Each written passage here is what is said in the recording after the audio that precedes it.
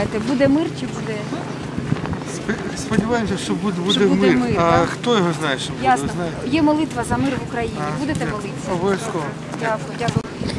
Germany and this is uh, uh, uh, this will be peace or I hope so. you hope so Yes. also. Yes. Thank you very much. Е, е, партії Батьківщина, Свобода і Удар. Ну і всі желаючі, хто сюди хоче приїхати. Ну вы хотите мира. Ну да. А руководство ваше Петри партии, что они хотят? Вы знаете? На, наші партії хочуть теж мир. В Украине, еще в Украине.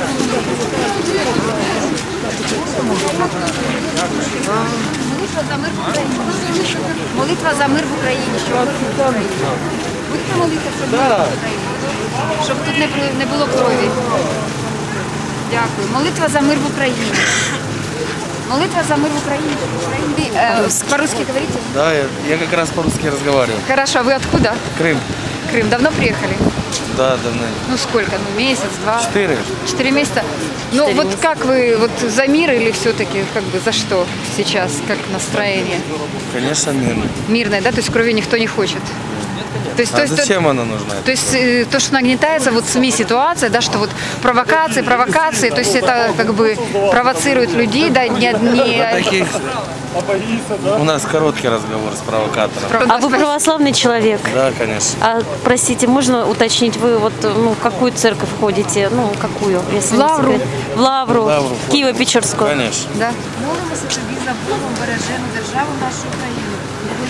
Пати Отче наш, Или в удар Е, вступить, Діво Марія или в радуйся, спину вірую. вправо, Як ці молитви Или знаєте? свобода. У вас э, требование какое? Первая отставка, да, Януковича? Ну, как сказать, я не за отставку, А за что вы? за то, чтобы он работал. Ну, пусть он будет, пусть получше работает, да? У мене жінка полька чиста. То есть у вас не такие радикальные требования, Нет, как... у меня И не батько. такие радикальные. Я более как-то демопла- э, дипломатично к этому отношусь. Де добре слово, там і Потому что, ну как, можно радикальными этими методами все сломать.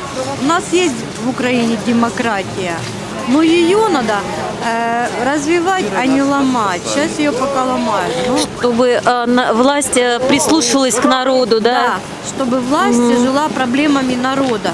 Понимаете? Вот так. Конечно, только мирным путем, дипломатичным. Ви звідки ляви? Четверта сотня. Четвертая сотня. А ну, всей откуда Украины. приехали? Вы за мир? Вы за мир, да. Э, скажите, э, чтобы ситуация решилась мирным путем, чтобы не, э, люди не гибли. Вы согласны с этим? Согласны. Согласны. Второй такой вот тоже еще вопрос. То есть приедут иностранные государства, будут помогать договариваться? Или украинцы пусть сами между собой договариваются? Это было бы очень хорошо, если бы украинцы договаривались между собой. А расскажите, какую организацию? Вы казаки, какие вы казаки? Я є старішина е, українського козацтва. Э, Откуда? Це Львівська область. Львивская, понятно. Е, Львівська Ну вы область. вообще к русским как относитесь? К русским? А звичайно, о, скільки я працював е, з росіянами, я фактично 30 років відпрацював в шахті. А там були різні нації.